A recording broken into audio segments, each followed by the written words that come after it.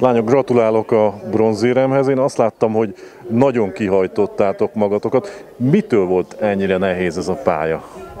Igazából nem mondanám azt, hogy ez a pálya volt maga nehéz, hanem az előttünk álló hetek voltak nehezek, és úgy érzem, hogy most jött el az a pillanat, hogy mi is megfáradtunk. Remélem, hogy az olimpia előtt ezért lesz egy kis időnk pihenni.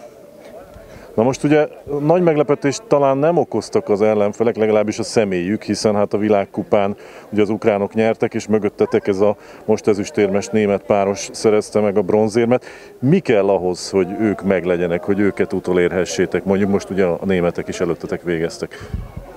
Hát nekem mindenképp hiányzik most már egy olyan időszak, amikor tényleg csak az edzésre koncentrálunk, végre fölépítjük azt, hogy hogyan fogunk felkészülni az olimpiáig a két hónapba.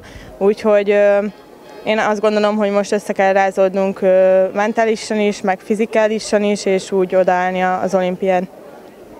Most ugye az egyes sem sikerült neked igazán jó kincső, azzal a számmal kapcsolatban mik a további tervek? Hát az egyessel igazából nyilván szerettem volna döntőbe jutni, de tovább nem gondoltam. Ott azért nagyon csalódott vagyok, hogy ez nem sikerült. Bemelegítő számnak terveztem, szóval nem voltak nagy elvárásaim, de, de azért elég sok hibát vétettem, ami azért nem fér bele 200 méterem. Melyek voltak ezek a hibák? Hát a rajtól elkezdve az utolsó méterig az összes csapásom nem, nem jött össze most. És akkor most uh, pihenés, és aztán hogy folytatódik a felkészülésetek?